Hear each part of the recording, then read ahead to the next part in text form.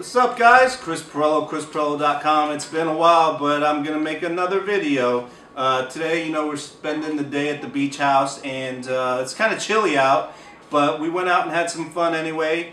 Did some uh, multiple exposures, uh, continuous shooting I should say, um, and uh, came out pretty cool. So I'm going to do some edits and I'm going to show you guys what we got and hopefully you guys like it. Please. Hey guys, so here I have my Lightroom catalog open, and as you can see, I got one, two, three, four, five, six, seven, eight, nine, a whole bunch of pictures um, that I shot uh, continuously. Uh, I use the Canon for this, um, the 7D, because it's doing 8 frames per second. My Nikon only does 6 frames per second, so I wanted to capture more frames, and it actually uh, I'm able to capture more frames with the uh, Canon, the Nikon, I believe it stops at six. After you shoot six, the buffer fills up, but it goes a little bit longer with the Canon, so that's why I chose to do that. So, uh, the first thing that I did was, well, let me show you what it's going to look like when it's all finished. So, here's the completed GIF. It just keeps looping back and forth. It's actually very, very easy to do. So let me go ahead and I'll just open up a new one. So let's go ahead. I, I have all the images that I'm going to use selected and I'm going to go into open as layers in Photoshop. So click on that and then I'll let it do its thing and open all these images in Photoshop.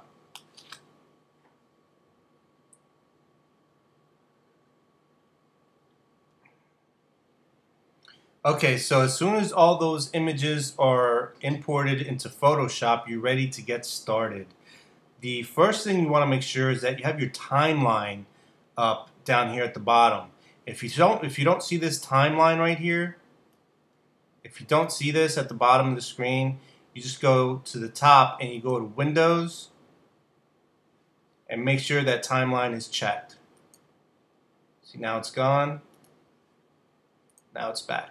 All right. So what you want to do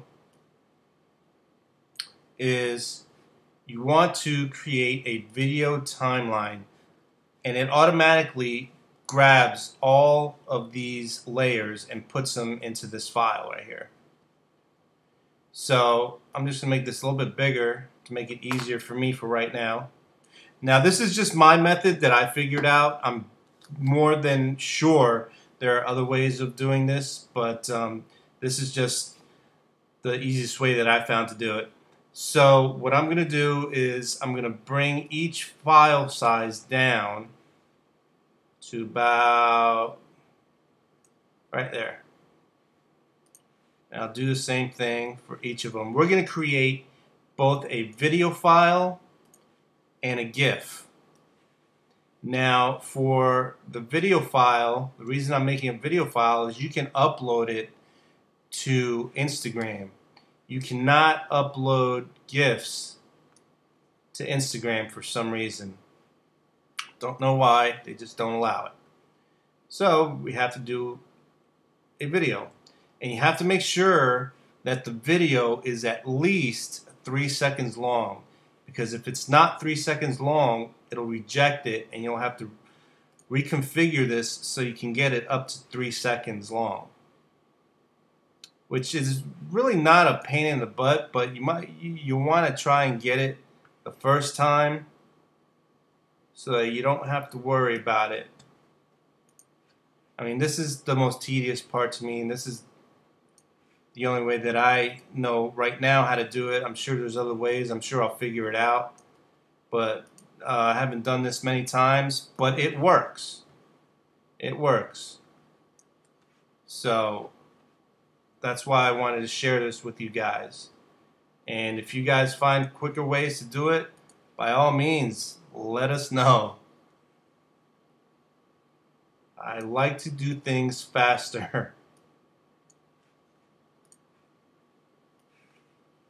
Alright, so we're just about done here. This last one. Alright, so now that I've got the file sizes length down a little bit, what I'm going to do is I'm going to drag, here's the first one, I'm going to drag the second one and just bring it up to here.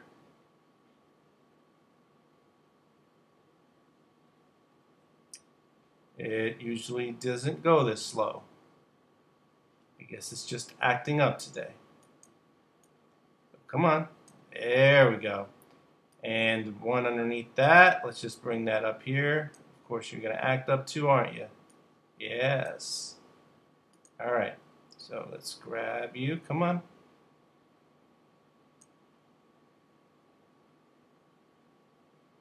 I don't know why it's going so slow like this.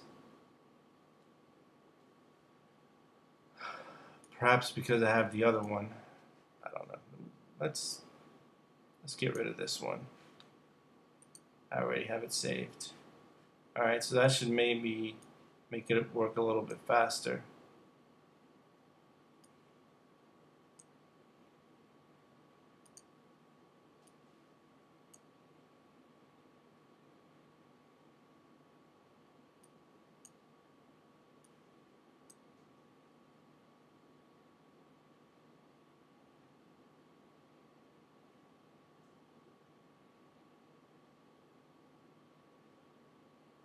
Really?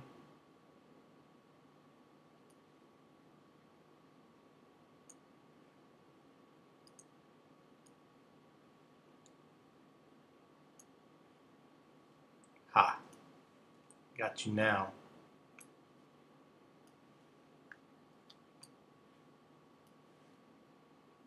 I don't know what was up with that.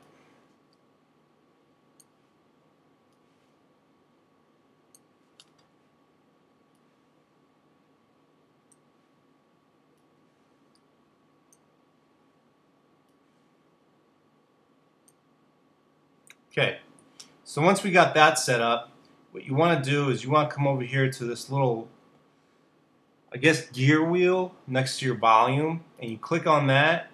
you want to make sure that you have it on loop playback, because what that'll do is once you hit play, when it gets to the end, it'll just loop back to the beginning and just keep doing it over and over and over again. So let's just go ahead and play it and see what it does. Bring this down. Okay, so let's hit play. And that looks pretty good.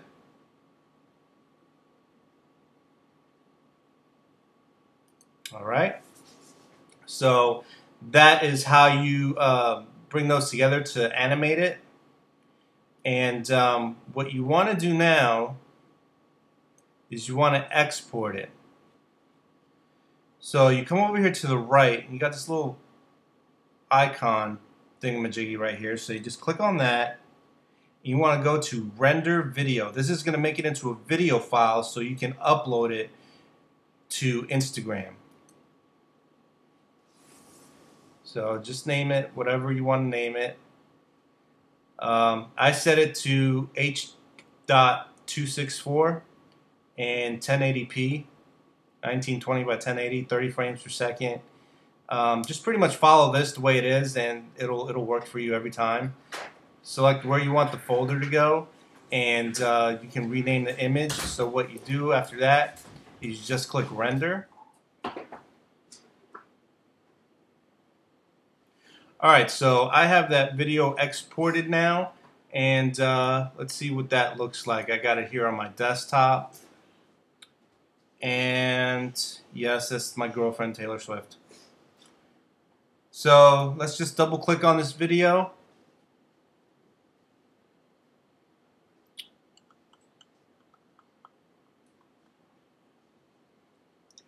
And it's only going to, uh, see it's at two seconds, so we're going to have to fix that. And um, in reality, once you put it in, it'll automatically just keep looping over and over again. So um, the easiest way to fix that is to go back into Photoshop and you just extend these just one bump just like so. Do that for all of them. And what that should do is make it three seconds long. You really don't want it any longer than that. Um, well, you can, depending on how, how many clips you're using, but minimum is three seconds or it will not work. It, it'll tell you in, um, it'll tell you in Instagram that file, video file is too short. So, but that's how you enlarge it. And then you just go ahead and save it the same way. You just come over here, render video, and then save it back to your desktop or wherever you want to save it to. And, um, and then just when you open it up, I haven't done it, but when you open it up, just make sure that this right here says three seconds. And then um, the way that I do it is I actually save it to my uh, my Dropbox. And I, as you can see, I have it saved right here to my Dropbox. Let me just drop that over. Replace. All right, so when I open this one, you can see right here it's three seconds long, so it's going to be the perfect length. And what you do is you just put it into your Dropbox, and uh, you go on your iPhone or your Android and um, take it from your Dropbox and export it to your uh, to your file, to your phone. And once you do that, you can just go ahead and upload it to um, to Instagram, and um, you will have show you right here. You will have a video file um,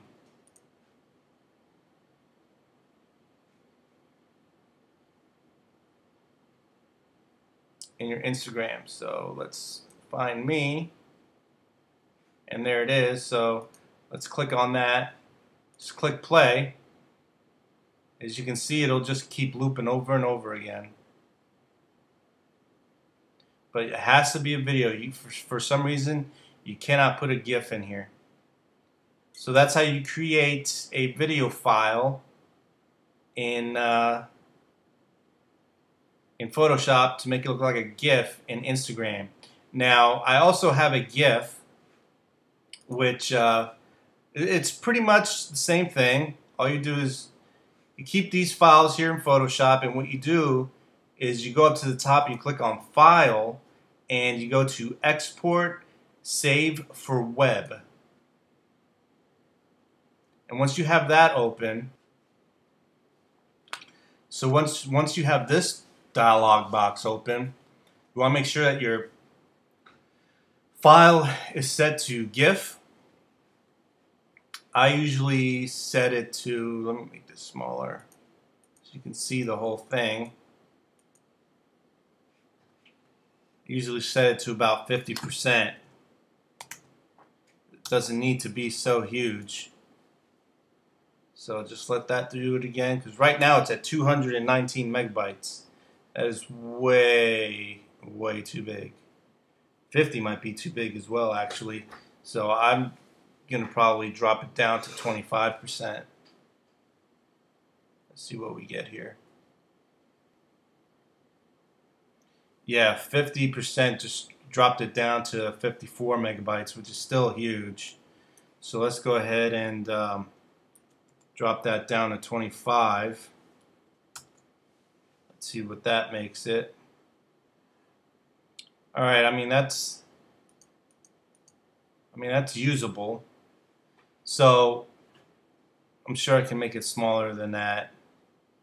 Um, but let's hear uh, over here on the on the right you, you have where it says animation, and then you have looping options.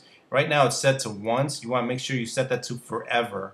So that way the GIF is just going to keep looping over and over again. You go ahead and click play, you can see a preview of it.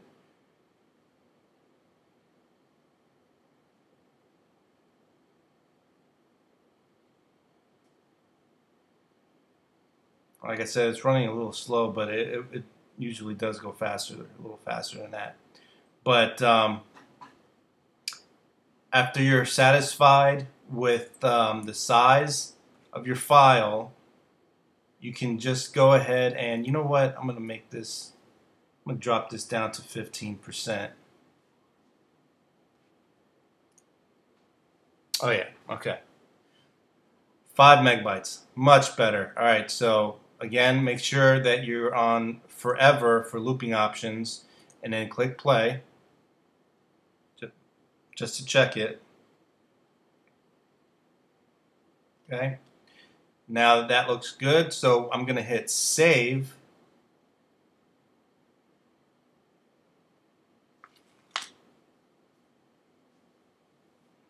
And let's save it to the desktop. Just name this one CJ. Save. Okay, so that's done. And um, so you just check it by double clicking it. It'll open it up in a web browser.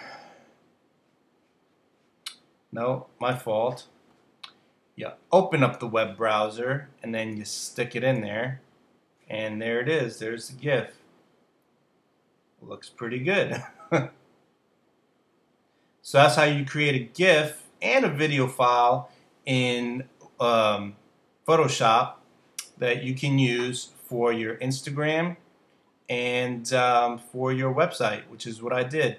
Uh, hopefully, this was helpful for you guys. Uh, it's not hard, just try it a couple different times and um, you should get the hang of it. Very simple, very fun thing to do. So, uh, if you liked it, let me know in the in the uh, comment section. Let me know what you thought. Uh, if you have any questions, leave them down in the comment section. I'll try and answer them for you the best I can. And um, yeah, that's it. I hope you guys liked it. Thanks for watching. See you guys next time.